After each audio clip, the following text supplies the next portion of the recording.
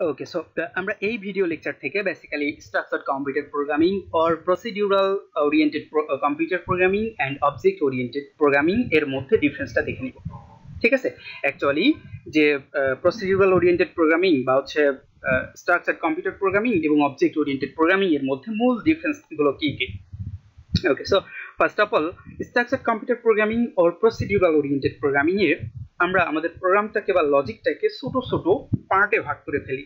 যে পার্টগুলোকে বেসিক্যালি আমরা বলি ফাংশন ঠিক আছে?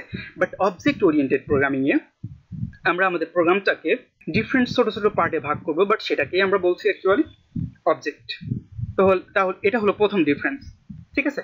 অ্যান্ড সেকেন্ড ডিফারেন্স কি? সেকেন্ড ডিফারেন্স হলো যে প্রসিডিউরাল ওরিয়েন্টেড প্রোগ্রামিং আসলে টপ ডাউন অ্যাপ্রোচ ফলো করে। But object oriented programming bottom up approach এই প্রসেসটা ফলো করে। দেন আসলে যে ডিফারেন্সটা চলে আসে সেটা হলো প্রসিডিউরাল ওরিয়েন্টেড প্রোগ্রামিং এর মধ্যে কোনো ধরনের অ্যাক্সেস স্পেসিফায়ার নেই বাট অবজেক্ট ওরিয়েন্টেড প্রোগ্রামিং এর মধ্যে অ্যাক্সেস স্পেসিফায়ার আছে। সো ফার্স্ট অফ অল আমাদের জানতে হবে যে অ্যাকচুয়ালি অ্যাক্সেস স্পেসিফায়ার কি।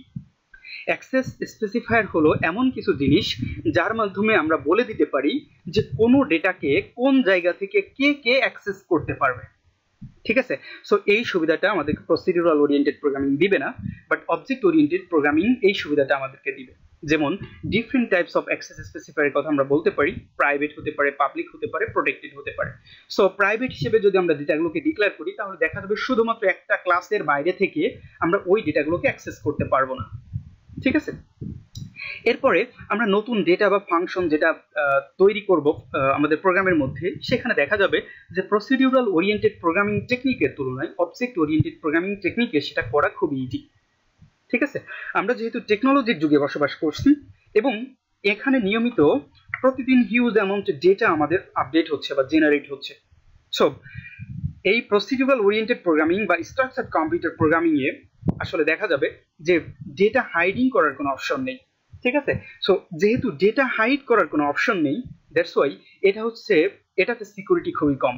বাট আমরা যদি অবজেক্ট ওরিয়েন্টেড প্রোগ্রামিং এর কথা বলি, তাহলে এখানে ডেটা হাইডিং এর অপশন রয়ে গেছে।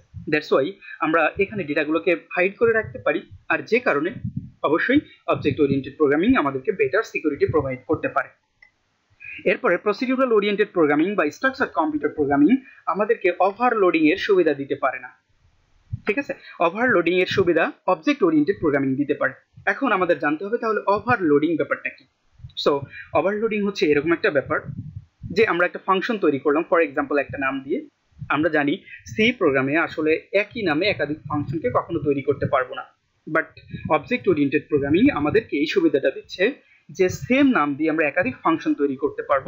বাট তার মধ্যে যদি আমাদের প্যারামিটার ডিফারেন্স থাকে, তাহলে আমরা এই সেম ফাংশন বা সেম নামের ফাংশনটাকে ডিফারেন্ট ডিফারেন্ট কাজে ইউজ করতে পারব। ঠিক আছে? সো এই সুবিধাটা আমাদেরকে অবজেক্ট ওরিয়েন্টেড প্রোগ্রামিং দিয়ে থাকে। এরপরে প্রসিডিউরাল ওরিয়েন্টেড প্রোগ্রামিং বা স্ট্রাকচার্ড কম্পিউটার প্রোগ্রামিং এ দেখা যাবে ডেটার থেকে ফাংশনটার ইম্পর্টেন্স বা গুরুত্ব খুবই বেশি। বাট অবজেক্ট ওরিয়েন্টেড প্রোগ্রামিং এ আসলে ফাংশনের তুলনায় ডেটার গুরুত্বটা খুবই বেশি। আরেকটা মেজর ডিফারেন্স হলো procedural oriented programming and object oriented programming এর মধ্যে, সেটা হলো যে object oriented programming basically real world entities নিয়ে কাজ করে বাট প্রসিডিউরাল ওরিয়েন্টেড প্রোগ্রামিং সেটা আনরিয়েল ওয়ার্ল্ড এন্টিটিস নিয়ে কাজ করে। সো এক্সাম্পল যদি আমরা বলতে চাই, তাহলে প্রসিডিউরাল ওরিয়েন্টেড প্রোগ্রামিং এর সেটা হলো সি ফরটান প্যাসকেল বেসিক ইত্যাদি। অ্যান্ড অবজেক্ট ওরিয়েন্টেড প্রোগ্রামিং এর এক্সাম্পল যদি আমরা দিতে চাই, সেটা হলো সি প্লাস প্লাস হতে পারে জাভা হতে পারে পাইথন হতে পারে সি শার্প হতে পারে।